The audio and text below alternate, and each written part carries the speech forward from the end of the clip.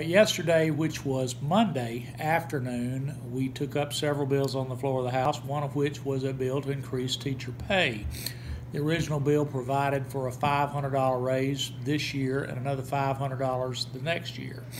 Uh, that was amended on the floor. Representative Holland offered an amendment to make that 2000 this year and 2000 the following year for a total of $4,000 uh, altogether after two years.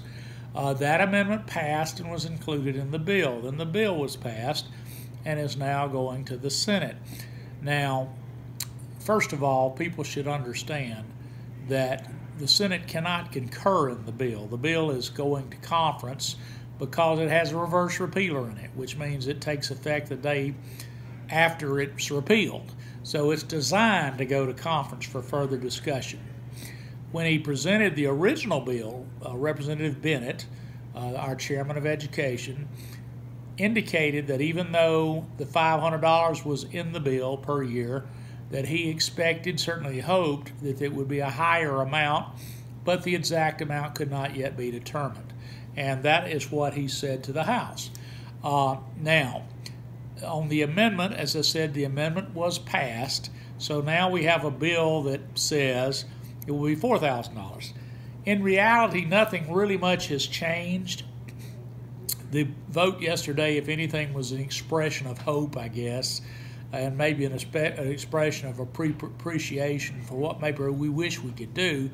I don't think even Representative Holland uh, and folks that really push the amendment believe we can do that, but I think the idea was to indicate a willingness to do as much as we can which frankly is exactly what Representative Bennett said, our chairman of education, when he presented the bill.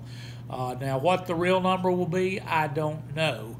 Uh, I'm sure, I feel sure, that it will be somewhere between the $500 and the um, $2,000, which will be for the coming year. So, you know, the, the people do not necessarily always have a big perspective on this. They realized $500 as a raise. Well, that's not a huge amount. Nobody would argue that. Uh, however, for every $500, that means $25 million to the state. So if we did what Representative Holland proposed in his amendment, that would require over the next two years $200 million. And it's difficult to see anything like that. Our total growth in the budget for this year was a little less than 200 million. So it's it's not likely that something of that magnitude can or will be done. However, as I said, Representative Bennett said it probably he's hopeful that it will be higher than the 500 and 500, you know, that um, was originally presented. So that's you know that's the process. It's uh, before us.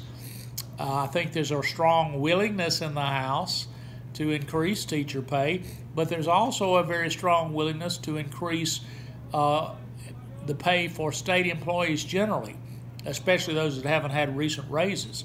So that has to be done too, and there's a limited amount of money to deal that with. And on top of everything else, $64 million out of the coming year. I mentioned the 200 million or so that we had a roughly new money, meaning revenue growth over last year.